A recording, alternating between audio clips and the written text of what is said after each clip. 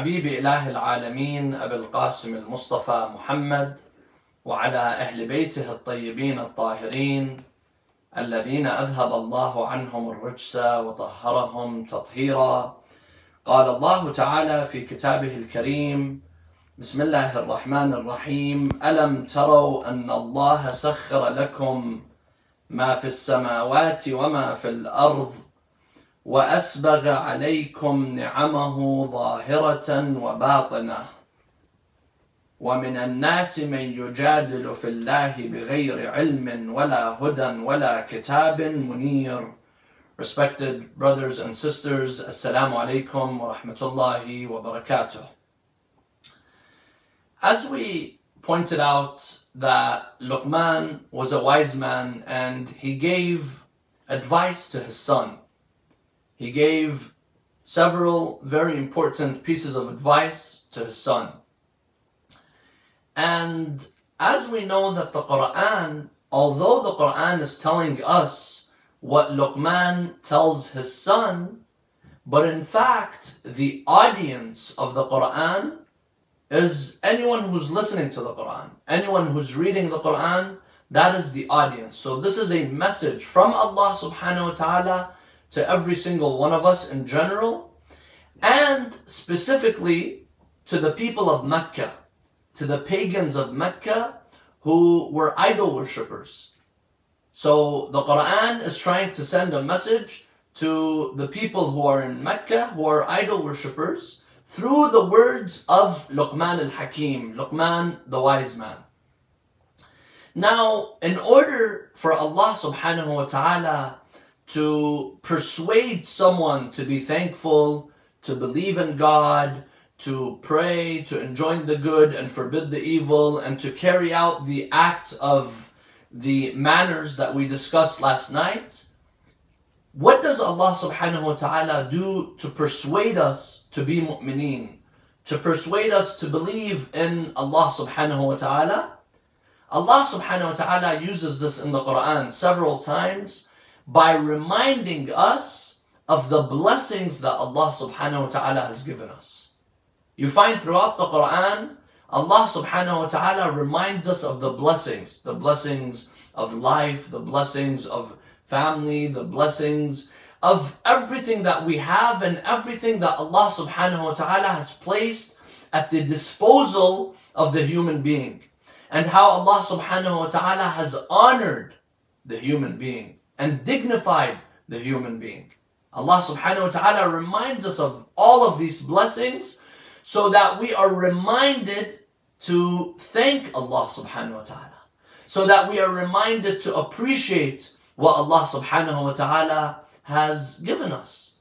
Every single blessing that Allah subhanahu wa ta'ala has given you in your life, this is a reminder for you to turn to Allah. This is a reminder for you to worship the one and only Allah subhanahu wa ta'ala. And it's sad that Allah subhanahu wa ta'ala has to remind us of the blessings that He has given us so that we remember to thank Him. So that we remember to connect with Allah subhanahu wa ta'ala. And our connection with God is for our own good. إن أحسنتم أحسنتم لأنفسكم وإن أسأتم فلها.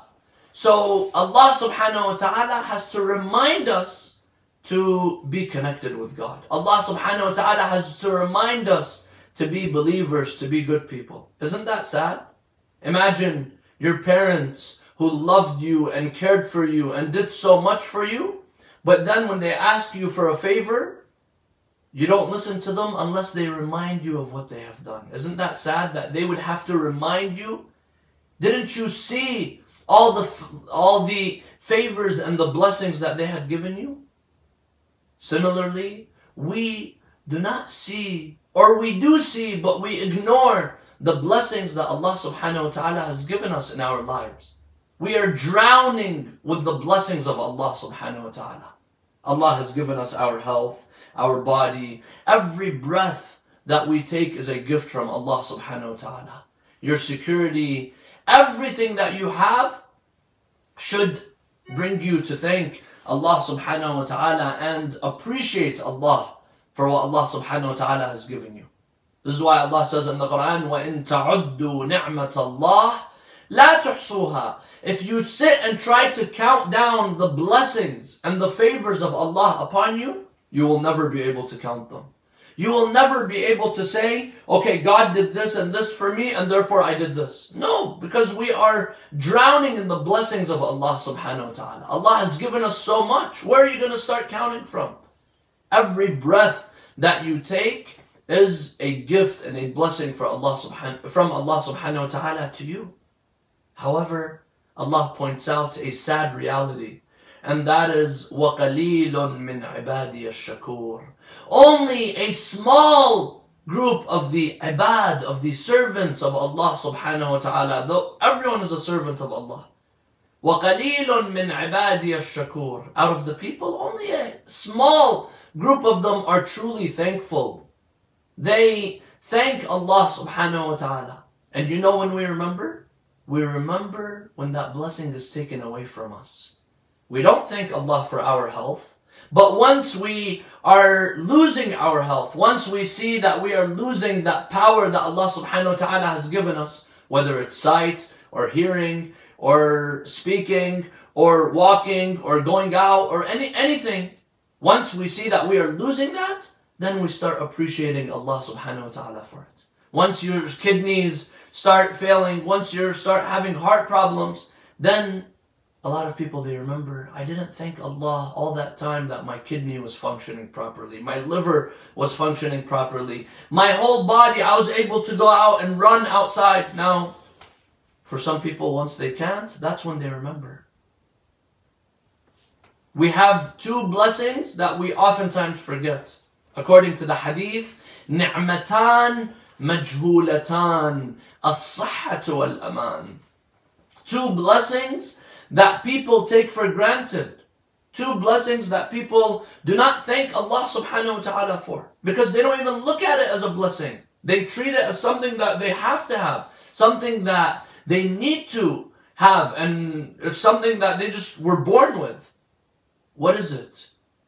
نعمتان مجهولتان الصحة والأمان. Your health? How often how often do people thank Allah for their health? People complain when they have lost their health, your health, and wal aman, your sense of security, sense of safety. Today, when we're in our homes, when we can't leave our homes, we begin to appreciate the outside. We begin to appreciate things that we used to do when we used to leave the house, things that we used to do out of the house. So sometimes Allah subhanahu wa ta'ala needs to remind us. And this is not a good thing that Allah has to remind us. We need to be reminding ourselves of the blessings of Allah subhanahu wa ta'ala. But Allah, in order to convince people to be believers, to be mu'mineen, to not associate a partner with Allah, Allah reminds us. What does Allah say?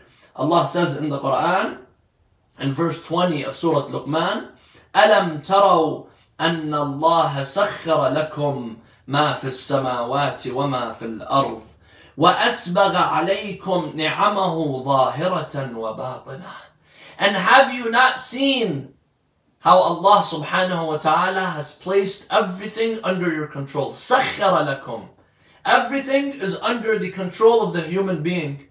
Where Allah subhanahu wa ta'ala has Allah subhanahu wa ta'ala has placed this whole life under our control. Allah subhanahu wa ta'ala places the water and the air and the plants and the animals and the farms, everything, the rivers, everything is under the, under the disposal of the human being. Allah has placed, Allah has placed fossils and placed um, jewelry and gold and oil and every, everything is for the human being. For you to live a good life. For you so to show that Allah subhanahu wa ta'ala is honoring you. Allah has honored the human being and chosen the human being over all of the other creation and favored the human being. Allah says in the Quran, وَلَقَدْ كَرَّمْنَا بَنِي آدَمَ And we have honored the children of Adam. وَحَمَلْنَاهُمْ فِي الْبَرِّ وَالْبَحْرِ And we have given you the ability to travel on land and in the ocean, on the land, Allah subhanahu wa ta'ala has places the placed the horses and everything. And in the ocean, through the through the boats and the ships, And of course, at that time, the people didn't know that they will, they will be able to travel through the air as well. But Allah gives us an example of Sulaiman, where Allah subhanahu wa ta'ala وَسَخَّرْنَا لَهُ الرِّيَاحِ Allah places the wind at the disposal of Sulaiman. So Allah says, وَلَقَدْ كَرَّمْنَا بَنِي آدَمَ وَحَمَلْنَاهُمْ فِي الْبَرِّ وَالْبَحْرِ وَرَزَقْنَاهُمْ مِنَ الطَّيِّبَاتِ And we have given you the food that is tayyib, that is good for you, that is healthy for you. The food that we eat, it's good for us. Our body needs that nutrition. From every food, there is a nutrition that our body needs. You have the vitamin C and the vitamin D and all of these, uh, the calcium and everything that is from the food that Allah subhanahu wa ta'ala has placed for us. Where are we going to get that from? We take that from the food, the protein and everything that Allah subhanahu wa ta'ala has made available for us. وَرَزَقْنَاهُمْ مِنَ الطَّيِّبَاتِ وَفَضَّلْنَاهُمْ عَلَى كَثِيرٍ مِمَّنْ خَلَقْنَا تَفْضِيلًا And we have favored you over all of the billions and millions of other creation. That is Allah subhanahu wa ta'ala honoring the human being. Why does Allah subhanahu wa ta'ala favor the human over other creation? It's because of one thing. It's not because of the power and the strength and the speed and, and the physical ability. Because you find some animals, they have a stronger physical ability than the humans. They have better eyes, they have better ears, they have better, they're, they're faster, their bodies are stronger. What is it that Allah subhanahu wa ta'ala has favored the human being with? That is the intellect. The intellect is the ability to choose between right and wrong. And it is your intellect that should guide you to Allah subhanahu wa ta'ala. And Allah tells us, use that intellect that I have given you. Use it to have a better life and a better afterlife. So when Allah is reminding you of all of these blessings, your intellect should be able to see them. Your intellect should see that I have all of these blessings. Where did they come from? Who gave this to me? Who provided this for me? Who made, uh, made us you know, made all of these accessible for us. It's Allah subhanahu wa ta'ala. ألم تروا أن الله سخر لكم ما في السماوات وما في الأرض and then وأسبغ عليكم نعمه ظاهرة وباطنة and Allah subhanahu wa ta'ala has blessed us with his blessings that are apparent and hidden. So here Allah subhanahu wa ta'ala in the Quran points out that the blessings of Allah, some of them are apparent, are, are visible, you could see them, you could trace them, and some of them are hidden. Some of them we need to be reminded of. Some of them you can't sense, you can't feel with your senses, but it's a blessing that's there. Try to think of the blessings that Allah subhanahu wa ta'ala has given you. Those that are apparent, that you see immediately and you sense immediately, and those that are hidden. And the scholars of the tafsir of the Quran, the scholars of the Quranic exegesis, they give out many opinions as to what is the apparent and what is the hidden, the hidden uh, blessings from Allah subhanahu wa ta'ala. So some scholars, and these are all correct, these can all be correct because these are all blessings from Allah subhanahu wa ta'ala upon us. They say that your body, the physical aspect, the physical dimension is the apparent blessing and the spiritual dimension, your soul and your spirit and your emotions, that is your inapparent blessing.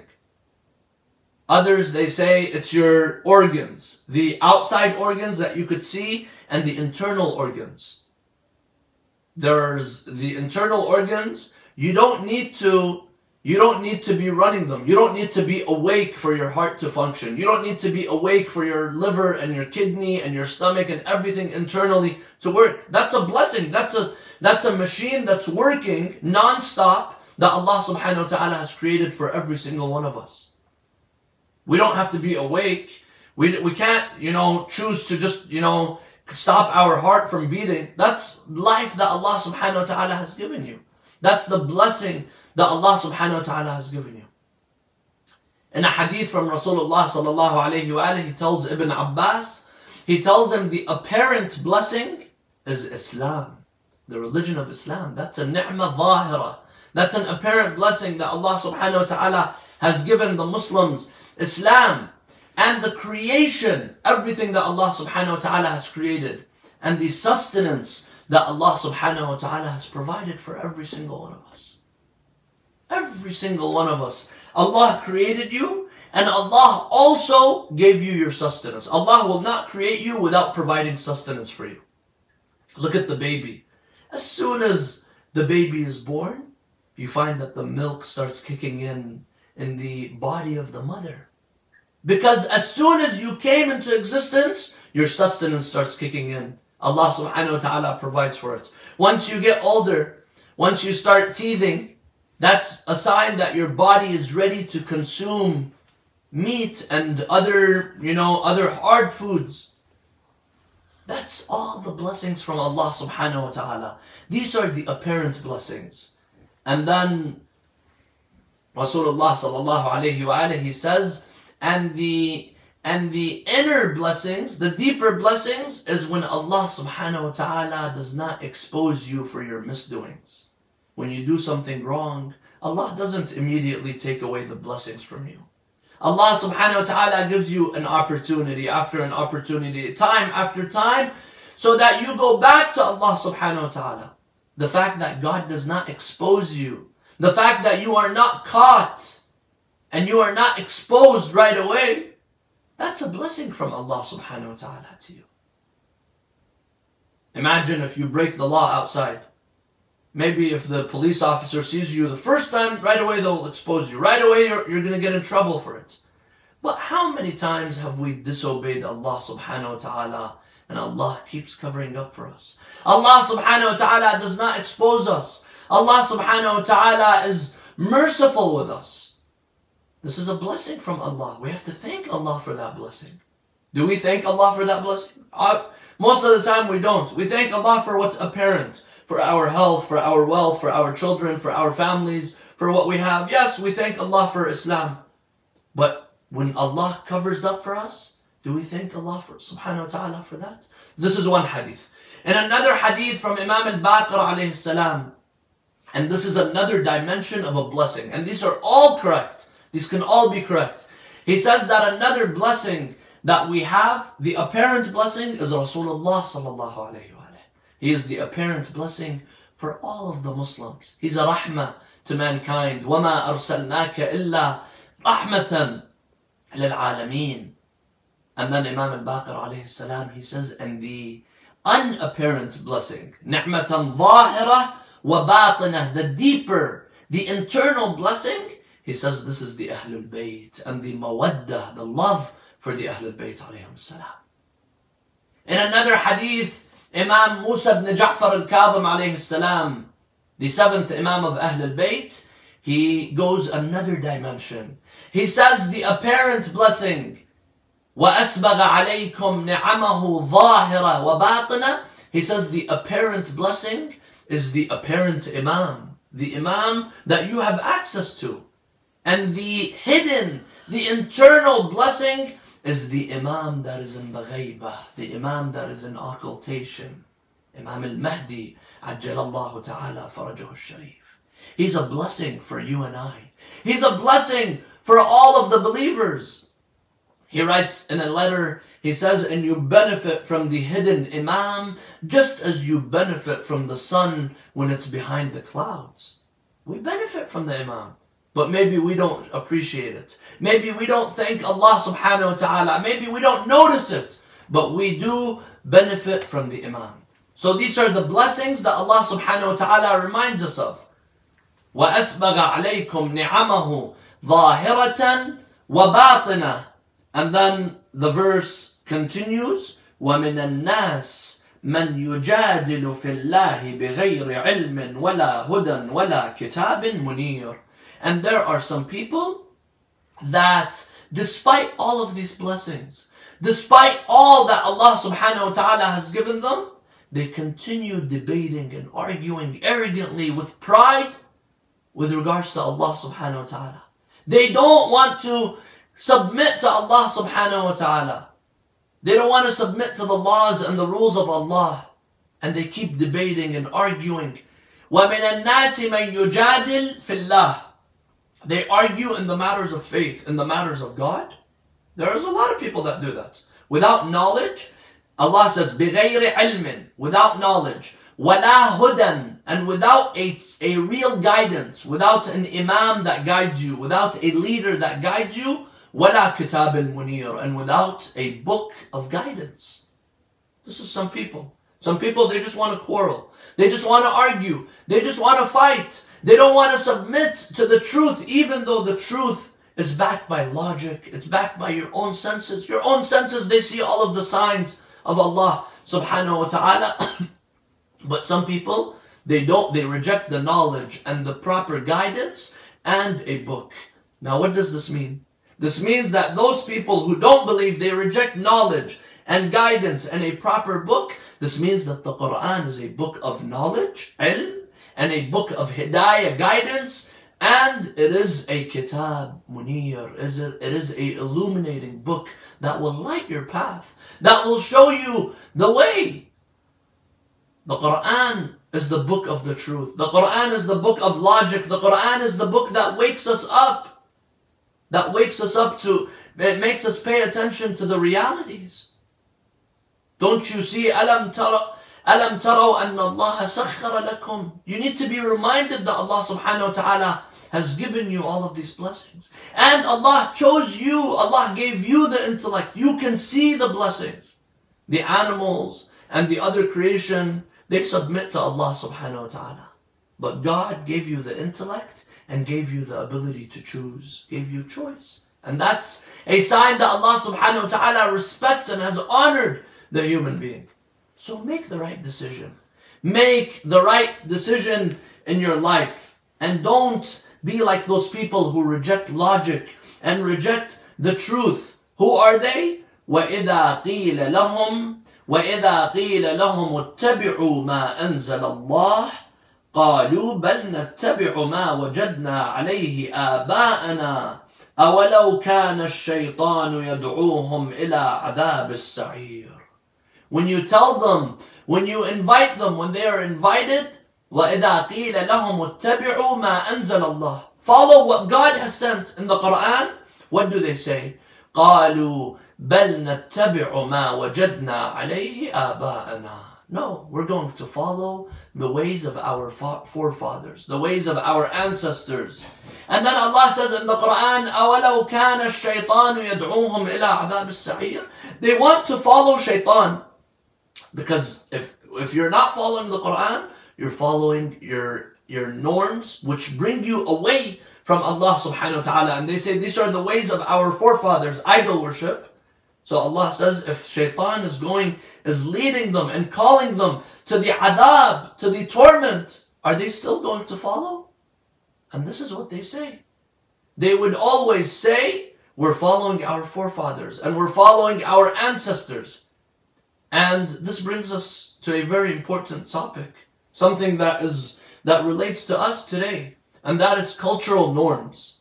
Today, a lot of times people, you see them doing something that is illogical, something that is wrong, something that goes against the religion of Islam and against their values. You ask them why.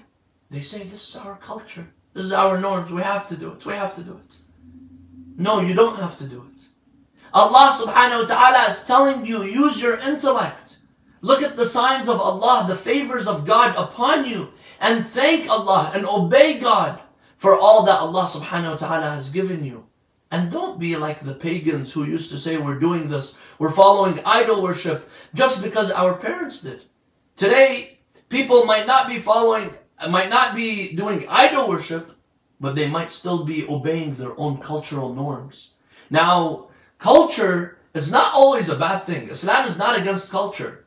But if that culture contradicts and it stands against the religion of Islam and values and logic and what's common sense, then that culture has to be stopped. Then that culture is wrong and it needs to be stopped and you need to change your ways.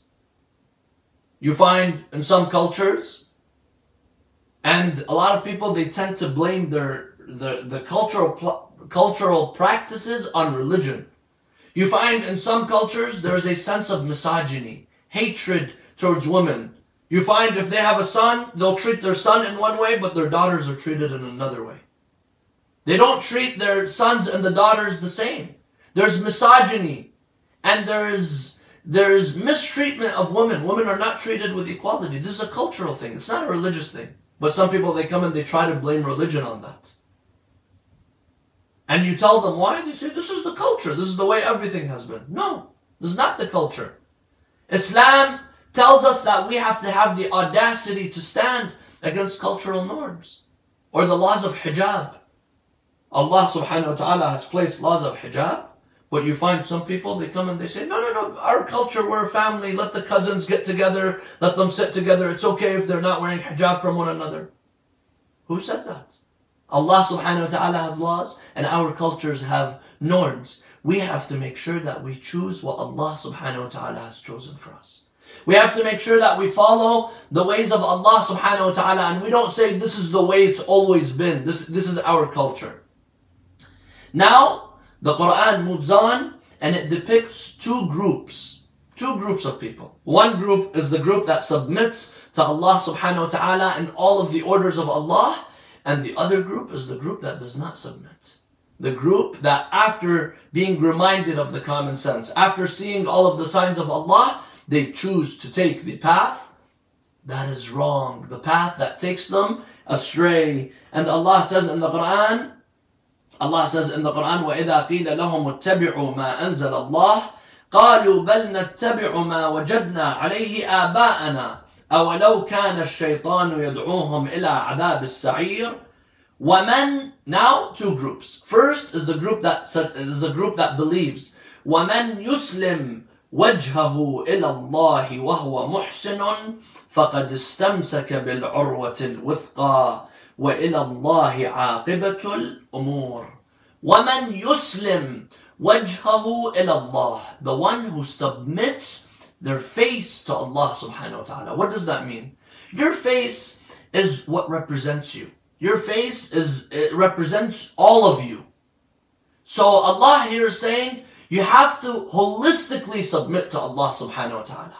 You have to submit everything to Allah subhanahu wa ta'ala. وَمَنْ يُسْلِمْ وَجْهَهُ إِلَى اللَّهِ Not only, submission by itself is not, uh, that's not all that Allah subhanahu wa ta'ala expects from us. We mentioned earlier that iman وعمل صالح إلا من آمن وعمل صالحا You have to believe and you have to good, do good deeds. So here Allah says, وَمَنْ يُسْلِمْ وجهه إلى الله وهو محسن and you also have to be a muhsin. You have to be a doer of good.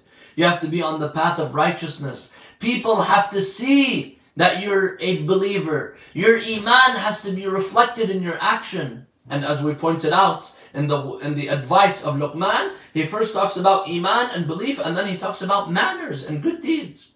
Because your faith is reflected from your in your actions. وَمَنْ يُسْلِمْ وَجْهَهُ إِلَى اللَّهِ وَهُوَ مُحْسِنٌ فَقَدْ اسْتَمْسَكَ بِالْعُرْوَةِ الْوِثْقَى Whoever does so, these two ingredients, faith in God, submit holistically to Allah, and be a person on the path of righteousness, a person who does ihsan, what happens? فَقَدْ اسْتَمْسَكَ بِالْعُرْوَةِ الْوِثْقَى This person is holding on to the best thing to hold on to, to the strongest attachment.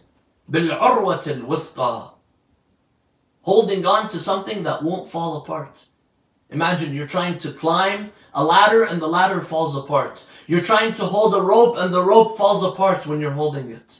You need to hold on to something that's solid, something that has a strong foundation. What is that? That is your faith in Allah. That is the acceptance of Rasulullah sallallahu alayhi wa That is accepting the whole message of Rasulullah sallallahu alayhi wa Especially in terms of faith, my dear brothers and sisters, we have to make sure that our faith is solid. You have to have a solid foundation in terms of your faith. Just as you have, you have to have a solid foundation in a building, and the, the higher the building is, the more you want to make sure that the foundation is solid. Because you don't want to fall apart. You don't want to crumble. Well, what about a foundation that's supposed to connect you with the heavens? That's your faith. What about a building, an institution that's supposed to connect you with Allah subhanahu wa ta'ala and bring you closer to Allah? Don't you want to make sure it has a solid foundation? This is why your faith and your belief, it needs to be based on conviction.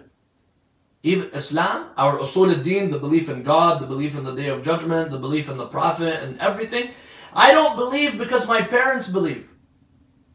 The Quran says, those people, they said, Inna wajadna aba'ana. We saw our parents like this. The Quran says, don't follow your parents. Follow based on conviction because God has given you the best gift and that is the power of the intellect. Use that intellect and build a foundation and let that foundation lead you to Allah subhanahu wa ta'ala. So what are you believing in? Are you a believer or a non-believer? Are you believing because of a foundation or are you choosing not to believe because of just, you know, you saw someone doing something you didn't like and you choose not to believe? You need to have certainty. You need to be able to back what you say with proof, with certainty. You believe in Rasulullah, that is a foundation. But Rasulullah, he came and he said, I want you to accept everything. The Quran says you have to accept everything the Prophet says. And when Rasulullah appointed Amir al-Mu'mineen Ali ibn Abi Talib, that is also a foundation. That is the Urwat al-Withqa. That is holding on to the full religion. In one of our tafsir, by the name of Tafsir al-Burhan by Sayyid Hashim al-Bahrani, he mentions a hadith and in it he says this is in a it has a Sunni source. He says that Imam Ali ibn Musa al-Rida alayhi salam, the eighth Imam of Ahl al-Bayt, he narrates from Rasulullah sallallahu alayhi wa He says, Rasulullah says, وَسَيَكُونَ بَعْدِي فِتْنَةٌ مُظْلِمَةٌ There's going to be a fitna. There's going to be a calamity that is very dark. People are going to get lost in it. مظلمة الناجي منها من استمسك بالعروة الوثقى the one who is safe is the one who holds on to the urwat al-withqa. The one who holds on to the rope, to the strong rope that is strong, that is holding on strong. فقيل يا رسول الله وما العروة الوثقى They tell Rasulullah, Oh Rasulullah, what is that urwat al-withqa? What is that thing that we have to hold on to? فقال ولاية سيد الوصيين He tells them it is the wilayah, the authority of Sayyid al-Wasiyin, the master of the awsiyat, the master of the vicegerents after the Prophet. قيل يا رسول الله ومن سيد الوصيين They tell Rasulullah, who is Sayyid al-Wasiyin? He says, Amir al-Mu'mineen. So they tell him, Ya Rasulullah, ومن أمير المؤمنين? Who is Amir al-Mu'mineen? He tells them, Mawla al-Muslimin wa imamuhum ba'di. The leader, the Mawla of the Muslims and their Imam after me. قيل يا رسول الله ومن مولى المسلمين وإمامهم بعدك قال أخي علي بن أبي طالب He tells them, my brother Ali ibn Abi Talib is the Imam of the Muslims and the Mawla of the Muslims after me. He is the one who Rasulullah appointed on the day of Ghadir when he says, Man kuntu mawlah, fahada aliyun mawlah. So the allegiance of Amir al-Mu'mineen is Urwatul Withqa. And then Rasulullah says in the Quran, and then Allah says in the Quran, وَمَنْ كَفَرْ First, وَمَنْ, وَمَنْ يُسْلِمْ Whoever has submits, this person is holding on to the urwatul wuthqa wa ilallah aqibatul umur. And to Allah are the endings of everything. Allah subhanahu wa ta'ala has the endings, the final say. And then وَمَنْ كَفَرْ فَلَا يَحْزُنُكَ كُفْرُهُ وإلينا ومن كفر فلا يحزنك كفره إلينا مرجعهم فننبئهم بما عملوا إن الله عليم بذات الصدور And whoever wa man kafar, فَلَا يَحْزُنْكَ كُفْرُهُ Whoever does kufr and blasphemy and rejects the truth, then don't let that person's blasphemy make you sad. Rasulullah sallallahu alayhi wa he used to be saddened when he used to be saddened when people did not believe. Allah subhanahu wa ta'ala tells him, فَلَا يَحْزُنْكَ كُفْرُهُ Don't be sad when people are not believing. And this shows what kind of a person Rasulullah sallallahu alayhi wa was. He wanted everyone to be guided. And when someone was not guided, Rasulullah would become sad. But Allah reminds the Prophet, فَذَكِّرْ إِنَّمَا أَنْتَ مُذَكِّرْ لَسْتَ عَلَيْهِمْ بِمُسَيْطَرٍ Remind people, you are just a reminder. You don't have to control what's in the minds and what's going on in people. You don't have to force religion upon people. You're just a reminder. And then Allah says, إِلَيْنَا مَرْجِعُهُمْ فَنُنَبِّئُهُمْ بِمَا عَمِلُوا إِنَّ اللَّهَ عَلِيمٌ بِذَاتِ الصُّدُورِ Everyone is coming back to us and we will show you everything that you did. Your whole life is going to be playing as a movie in front of yourself and in front of the angels, in front of the witnesses. So Allah subhanahu wa ta'ala will show you. The ones who did not believe, Allah is going to have the hujjah, the proof in front of them on the day of judgment. Everyone will go back to Allah subhanahu wa ta'ala. And then Allah says in the Quran, نُمَتِّعُهُمْ قَلِيلًا ثُمَّ نَضْطَرُّهُمْ إِلَىٰ عَذَابٍ غَلِيظٍ you see some people, they look comfortable in this life. They look happy in this life. They look like they have everything that they need in this life. Here Allah subhanahu wa ta'ala is saying, don't be fooled by those who are living comfortably but they don't believe. And they should not fool themselves because they're comfortable but they're not believing. No. Allah says, نُمَتِّعُهُمْ قَلِيلًا We're going to give them joy for a short period of time نمتعهم قليلا ثم نضطرهم إلى عذاب غليظ and then we will push them and then they will have to go towards the severe torment because they rejected the truth because they rejected all of the signs of Allah subhanahu wa ta'ala you know Bani Umayyah and I'll conclude with this the Umayyads they persecuted Amir al-Mu'mineen they waged a war against Amir al-Mu'mineen Muawiyah took the authority from Imam al-Hassan and he poisoned Imam al-Hassan. And then Yazid killed Imam al-Hussein.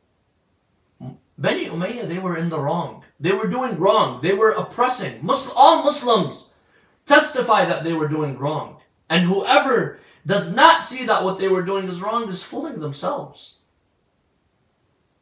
What did Bani Umayyah do?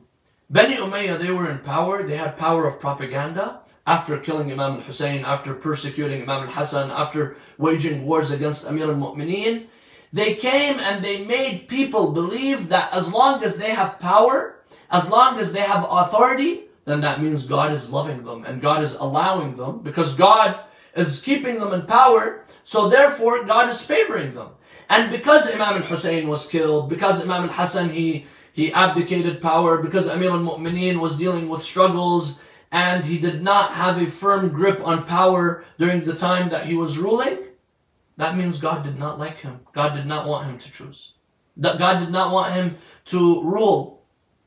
And on the day of Ashura, they came and they said that. After they brought Sayyidah Zainab and the family of Imam al-Hussein, Yazid, he kept saying, look what, look what happened to your brother Hussein and what happened to me. God chose me over Hussein.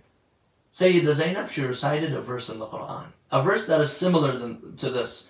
نُمَتِّعُهُمْ قَلِيلًا We're going to have you enjoy this life for a very short time. ثُمَّ نَضْطَرُّهُمْ إِلَىٰ عَذَابٍ غَلِيظٍ Then they will be taken to the severe, severe torment and punishment from Allah subhanahu wa ta'ala. Sayyidina Zainab recited this verse. وَلَا يَحْسَبَنَّ الَّذِينَ كَفَرُوا أَنَّمَا نُمْلِي لَهُمْ خَيْرٌ لِأَنفُسِهِمْ إنما نملي لهم ليزدادوا إثما ولهم عذاب مهين Don't let the, those who do kufr and blasphemy think that Allah subhanahu wa ta'ala is, is, is blessing them and favoring them. إنما نملي لهم We're giving them ليزدادوا إثما ولهم عذاب مهين I'm giving you to test you. And if you fail in this test, you have the power, you have money, whatever you have. If you fail in that test, then your punishment is going to be much more severe. So Allah says that those who, those who are in the wrong, sometimes Allah will give them more. And because Allah gives them more, then they will fall more. And Allah will punish them much more severely. So now we ask Allah subhanahu wa ta'ala to make us from those who are on the path of the righteousness, on the path of the good. نسألك اللهم وندعوك باسمك العظيم الأعظم الأعز الأجل الأكرم. يا الله يا الله يا رحمن يا رحيم يا مقلب القلوب. ثبت قلوبنا على دينك. اللهم اغفر للمؤمنين والمؤمنات الأحياء منهم والأموات. تابع اللهم بيننا وبينهم بالخيرات. إنك مجيب الدعوات إنك غافر الخطيئات إنك على كل شيء قدير. اللهم أدخل على أهل القبور السرور. اللهم أغني كل فقير. اللهم أشبع كل جائع. اللهم اكسو كل عريان. اللهم اقضي دين كل مدين. اللهم فرج عن كل مكروب. اللهم رد كل غريب. اللهم فك كل أسير. اللهم أصلح كل فاسد من أمور المسلمين. اللهم اشفي كل مريض. اللهم سد فقرنا بغناك. اللهم غير سوء حالنا بحسن حالك. اللهم اقض عنا الدين وأغننا من الفقر. إنك على كل شيء قدير. وإلى أرواح المؤمنين والمؤمنات نهدي ثواب الفاتحة مع الصلوات.